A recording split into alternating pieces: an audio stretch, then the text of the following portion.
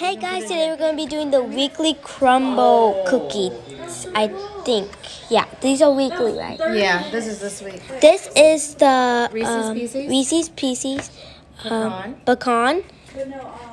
Don't say something. Don't say. Um, I don't know what this That one's is. cookies and cream, and this one's chocolate. Cookies and cream and chocolate chip. This one has caramel on it. She said. My mom said. Ready to try try it? We're gonna be trying the Reese's oh, Pieces first. Ready, go. Mm. How is it? Mm. Thumbs up. I give this one a 9 out of 10. It's kind of salty. But it's really good. You can't really taste the peanut butter. This is literally mm. so ugly. Okay, we're going to taste the pecan now. Ready, go. Mm. Thumbs up again. I give it a 5 because I don't really like pecans and I can kind of taste it. Okay. Next, we're going to be trying this caramel one. Mm. I give this a 10. It has caramel and cinnamon. Mm.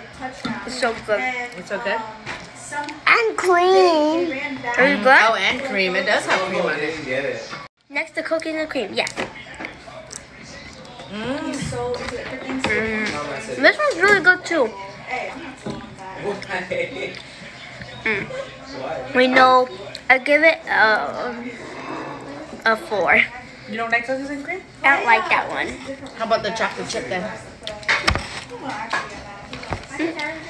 Here go. Which one, Lucas?